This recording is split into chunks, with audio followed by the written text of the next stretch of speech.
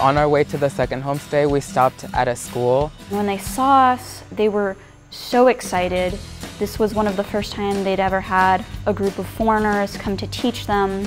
Some of them drive two hours to get there, and then you could just tell the ones that really just wanted to be there, wanted to learn English, and it was just really inspiring. I taught a second grade class, and so what we did with them was play Pictionary, Hangman. That was really difficult to put yourself in a situation where you don't speak the same language as 20 students that you're standing in front of. As experimenters, we kind of had to figure out how to push the shyness aside and get them motivated and fired up to play games and be open to making mistakes when they're speaking English.